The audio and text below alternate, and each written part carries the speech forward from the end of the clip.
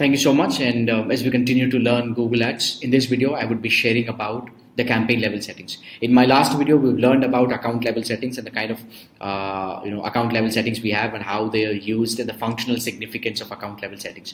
Right. So the account level settings you can't change them every day they remain same and whatever settings you give to the account level every campaign will take the same setting. Similarly now in this video we will learn about campaign level settings. Remember campaign level settings after you create the campaign then you create the ad group. And if you have 100 ad groups in one campaign still all the ad groups will take the same campaign level settings. You can't change the campaign level settings at the ad group level. Remember, that's exactly why I'm taking you through the structure. First is account level, then campaign level, ad level, ad group level, and ad and keyword level, right? So without much ado, let's jump in to learn the campaign level settings, right? So whenever you create a campaign, so I click on search uh, plus new campaign and select the new campaign and here I'm selecting a campaign without a goal. Now, if you're very experienced with Google Ads, you don't have to go through select a campaign without a goal. You can directly know you know the objective. You can directly choose the objective or the goal and then go create a campaign because you don't want to maneuver around the entire interface and see all the settings and then pick one, right? You know what is your perfect goal. You want to achieve this. So, for example, I want only website traffic, so I can directly go because I I, I don't want anything else. I simply want to drive traffic to my site,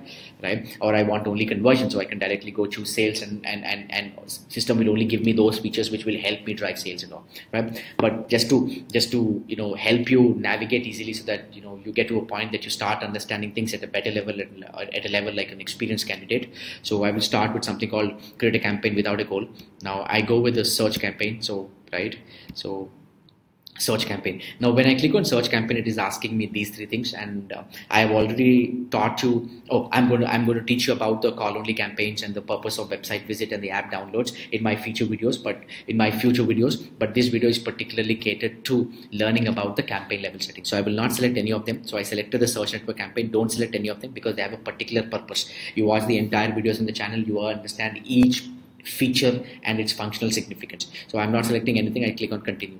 Now when I click on continue, you're creating a campaign and every time you create a campaign, Google will ask you to give certain campaign level settings, right? So these are the campaign level settings. I just take you through. First one is campaign name, net networks and all and networks where you have certain things, locations, languages, audiences, budget, bidding, and then you have other settings like conversions ad scheduling ad rotation and ad extensions as well.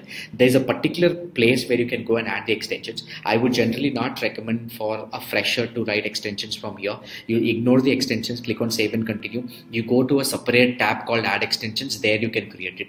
And from that place you can add whatever extensions you want to add to a campaign. There's several type of extensions. That's my next video.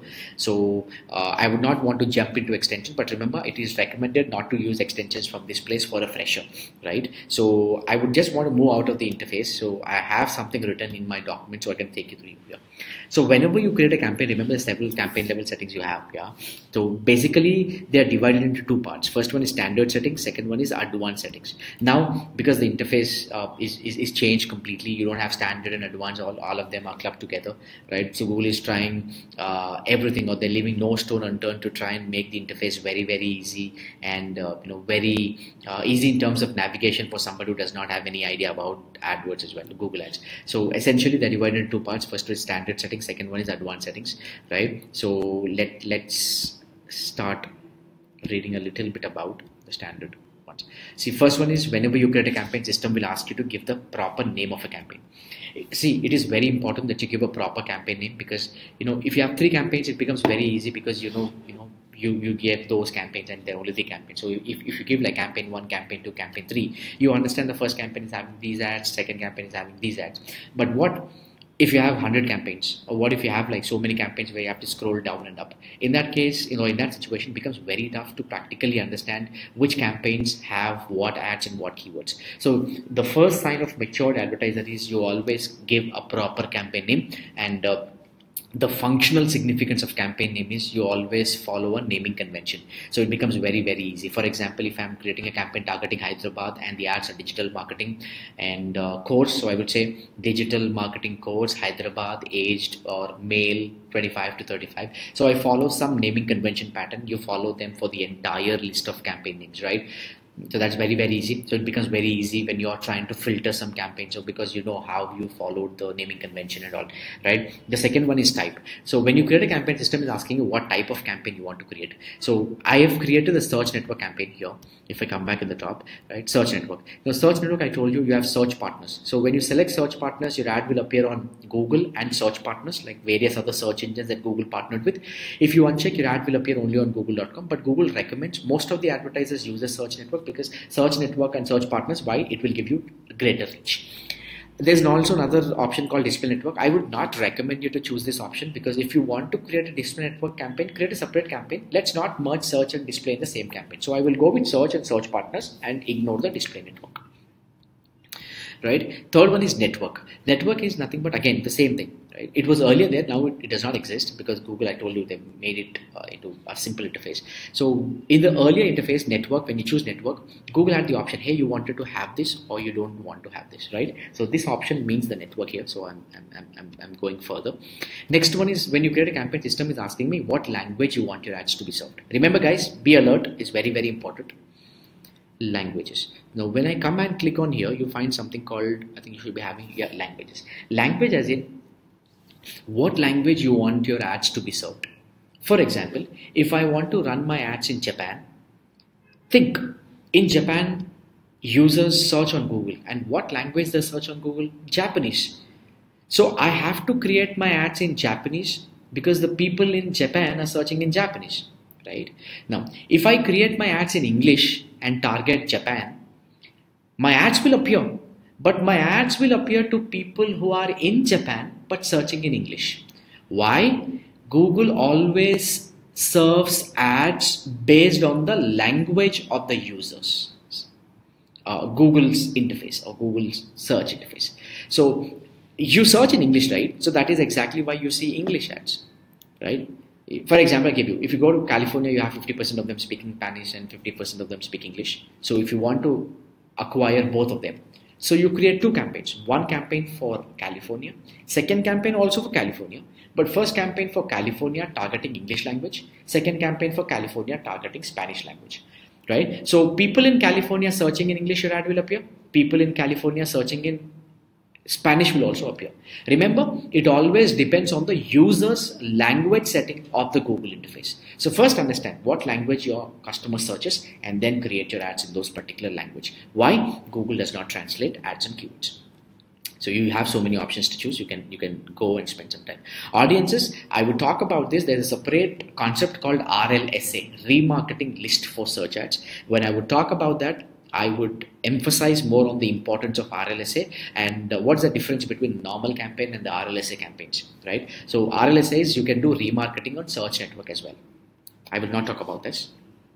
Right, let's come back to my sheet languages now next one is devices devices as in see devices wherever you go they are classified into three types right first one is laptop laptop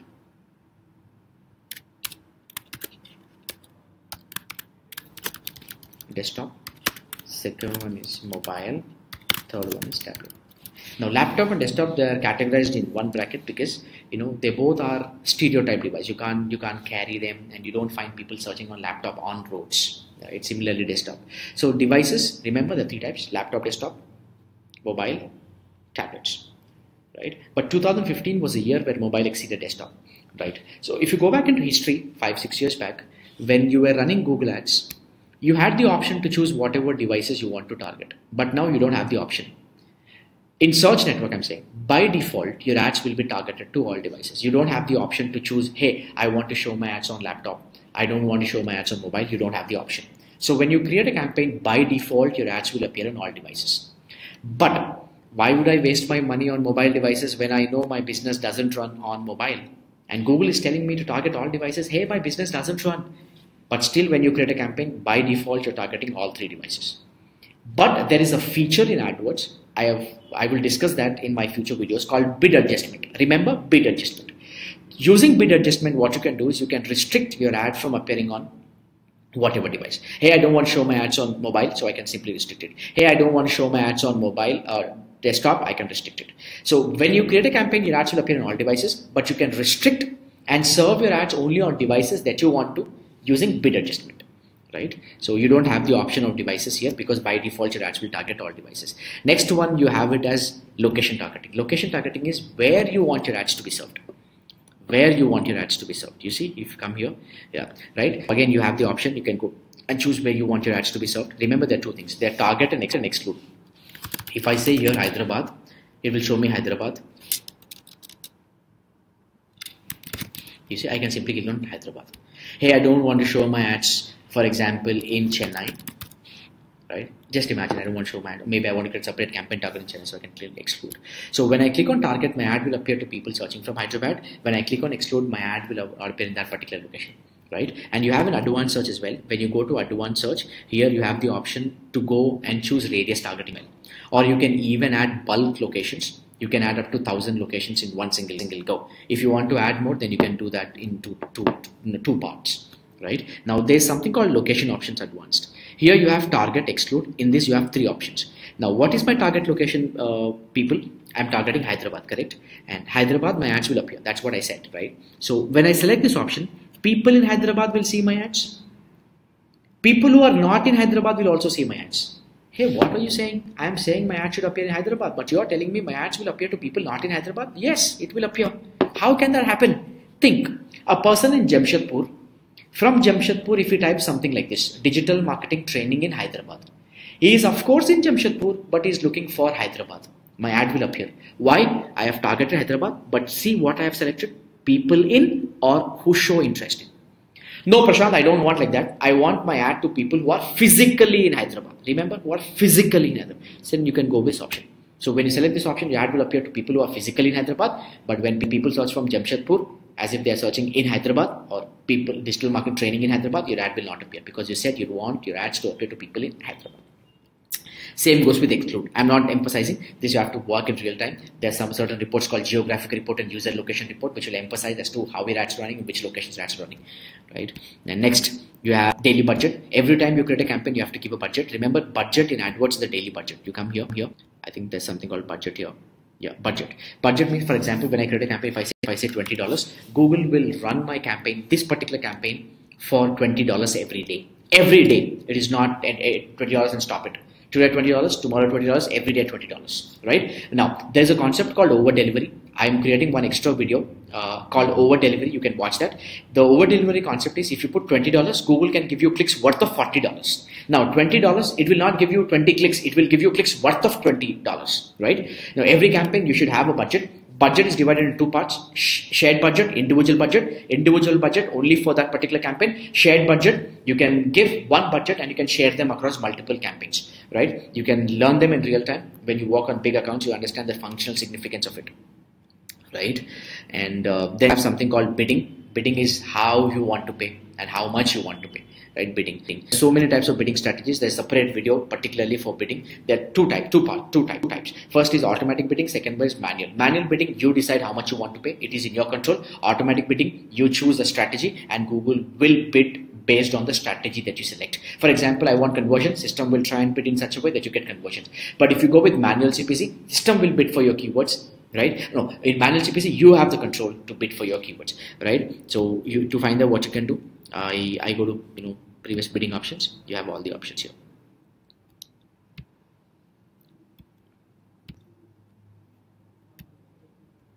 right? Automatic bidding strategies manual. Automatic there's so many bid strategies. I'm creating one particular video for each of these bid strategies. Stay connected. Watch the entire channel. This will give you a comprehensive idea about how you can use bid strategies for particular objectives of your campaigns manual cpc so i go with manual cpc that means i have the control so i can choose how much i want to bid at all and next you have something called CPC. CPC bid limit is only available when you're into automatic bidding. Let's go guys. If I go, I go automatic bidding, the name of automatic bidding is called maximize clicks. Maximize clicks system will bid. You see, Google automatically sets your bids. Had it been manual, then I have the control set bids, right? Right, in maximize clicks, Google will bid automatically or Google will set bids automatically in such a way that you get more clicks within your budget right? And maximize clicks system will bid. But prashanth i want system to bid but i don't want system to bid beyond two dollars or one dollar. So I can give it here. Maximum CPC bid limit. It is available for automatic bidding if I go with manual bidding, you don't have the option of CPC bid limit because the bids are in your control. You can choose however you want, uh, how much ever you want. You can increase it, decrease it, right? And there are other bid strategies as well: target CPA, target ROAS, maximize clicks, maximize conversions. I have a particular video dedicated to serve this purpose in the channel. As you continue to watch my other uh, videos in this playlist, you would come across this. Make sure you watch this. This will give you a comprehensive idea right? They're very very important because each of the bid strategy will serve one particular purpose or one assignment or one goal whatever you have for your campaigns right? So bidding bidding right? Cpc bidding i told you it's available only for what bidding strategy? Automatic bidding strategy.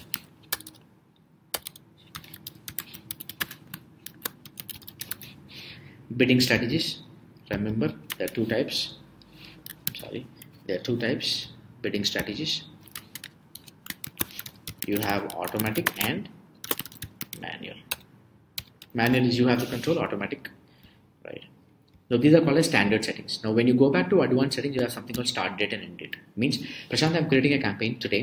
I want to run my campaign from november. So when i create a campaign today i can give the date as november and my ads will start from november. I can give an end date as well. So you don't have to start it. You don't have to stop it. Automatically they will run. Now prashanth i'm creating a campaign and i don't give start date if you don't give start date, your ads will run from today. That means the start date by default will be today's date or the campaign creation day's date. Ad delivery, there are two types of ad delivery. There are two types of ad delivery. I'll write it here. I'll show you standard delivery.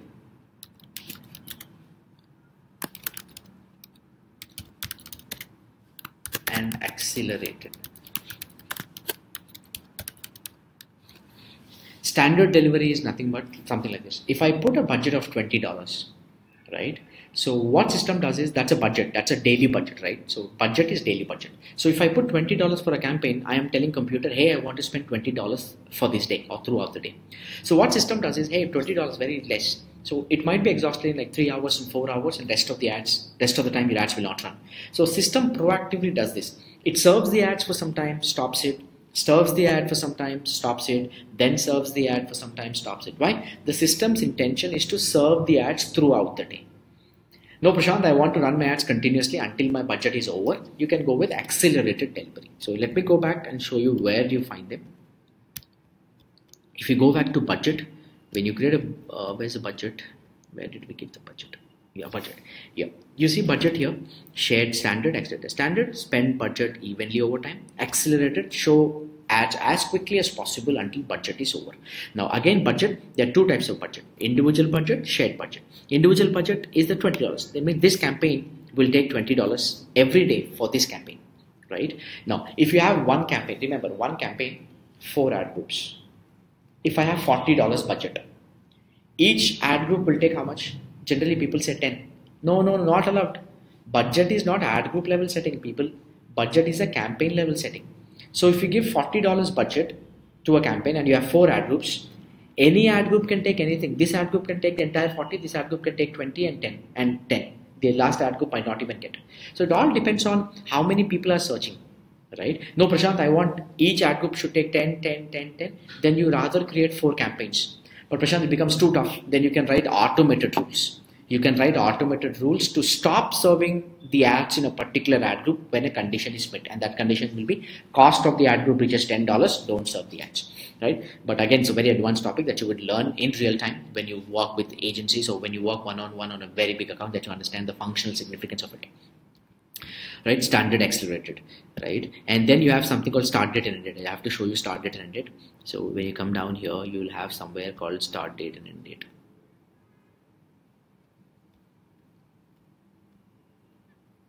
You see? By default it is July, June 27th right? Right? And then you have ad rotation. Ad rotation is how do you want to rotate the ads? How do you want to rotate the ads? Rotation generally by default it is recommended to go with optimize. Optimize what system does is it will rotate the best performing ad. Now when you create a campaign google always recommends you to write at least three ads. Now when you write three ads remember the policy of the ad group is any keyword can trigger any ad. But when you select this option called ad rotation what system does is it will perform in such a way that the best ad is served more often right? Do not optimize. Again you know it doesn't take any anything into account. All the ads will be served irrespective of which is performing what is not performing. Earlier had something called rotate evenly where all the ads will be rotated evenly that means each of the ad will get equal chance or equal number of impressions. But now it is always recommended that you go with optimize. Right? And then you have ad scheduling. Ad scheduling is very important feature. I want to write one point here for ad scheduling. Ad scheduling always works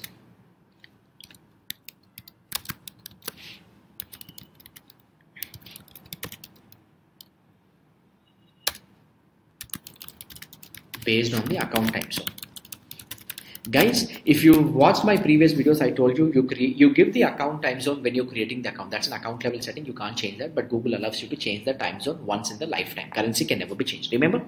So ad scheduling is nothing but Prashanth, there are certain businesses who want to run the ads at particular times. They want to run the ads on mondays morning and evening. Tuesdays only afternoon. Wednesdays only morning. Thursdays only in the night. Fridays they don't want to run right? Why do you want to run the ads throughout the day when you know your business does not run continuously throughout the day? So i want to run my ads only in those times. So google gives you the options where you can flexibly run your ads in those times where your customers are searching or when your customers are searching right? So that is called ad scheduling.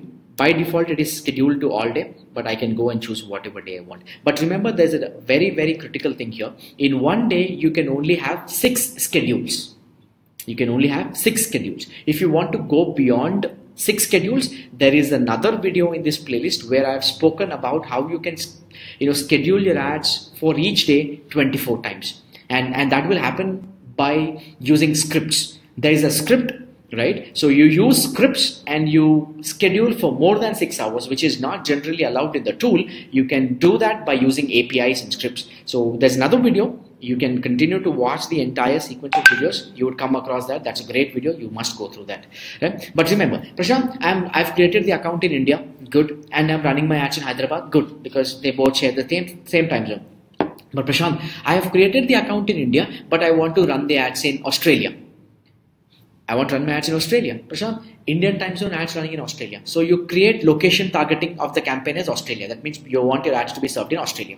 But remember, the Australian time zone, Indian time zone is different. If you run the ads Monday 9 o'clock, I told you ad scheduling always works on the basis of account time zone. So if I select Monday 9 o'clock, Monday when we reach 9 o'clock, Australia already reaches 2 o'clock right? So your ads will run in Australia from 2 o'clock in the afternoon, which is not good. So what I have to do, I will do this. I will select Monday and I will run my ads from 2 o'clock or 3 o'clock in the morning in India.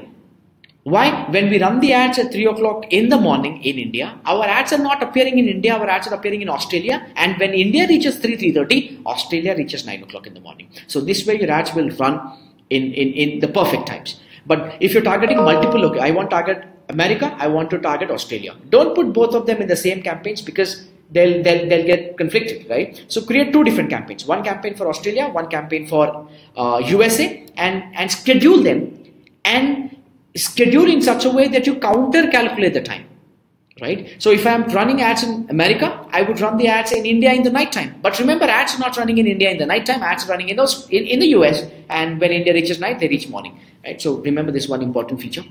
Ad scheduling always works on the basis of account time zone. They don't work on the basis of the user's time zone. So you have to counter calculate. Frequency capping, this is only available for display network. Only available for display network. Frequency capping is nothing but eh, I want to I want to show my ads to one person not more than five times. So that means when you give this option, your ad will not appear to one person more than five times. This is only available for display network. Why? Display network, we go and show ads. Search network, they come and search. And this option is not available search network because they come and search right? IP exclusions, this is a, this is a feature. This, this you will find after you create the campaign. Once you create the campaign, you go to settings, you will find IP exclusions. IP exclusions is you take the IP address where you don't want your ads to be served, you put them, and Google will not serve your ads to these people even though their search term matches your keywords. Campaign URL options in a very advanced video. In, in this campaign URL options, you use tracking templates, ValueTrack parameters, and custom parameters. There's a separate video, not in this playlist, there's a separate video in this channel, but it's a very advanced video for people who work at an expand at a deeper level, at an intense level. So you can watch the other videos in the in the channel and you would come across these videos and uh, you know continue to learn and increase your knowledge and try and become a better Google Ads uh, professional and try and use ads in a way which will drive more results, more growth. right? So these are the options that you have at campaign level. And every time you create a campaign, you have to give these settings. Remember one thing I want to tell you: Google will never give you IP addresses. Never give you. It is your job to get the IP address and put them in the IP exclusion tool. Right? So the next topic will be ad extensions here, but I would recommend you not to create ad ad extensions from campaign level settings. There's a separate place called ad extensions. You create ad extensions there and apply ad extensions from that place called ad extensions. Right? Thank you so much. Continue to watch my other videos in this playlist. I bet by the time you watch all these videos on the channel, you'd be a master at using Google Ads and you'd be very very familiar with using or, or, with all the features of ads and you want to learn to implement them and understand the functional significance. I repeat the word functional significance. You go to an institute or learn from somebody you don't go to learn these things in an institute to waste your time. You learn all these things and go to an institute to practically work and get that practical experience. That is what you should be uh, uh, working with. And, and and again, institutes are not marketing companies. They don't have clients. You can't learn from somebody who don't even manage like crores of rupees. You can't do that. You can't say I worked on one business model and I'm expert. No, though you're working on one business model the moment you change your business model everything goes different right? Everything is different. You, your results are different. Your strategies are different.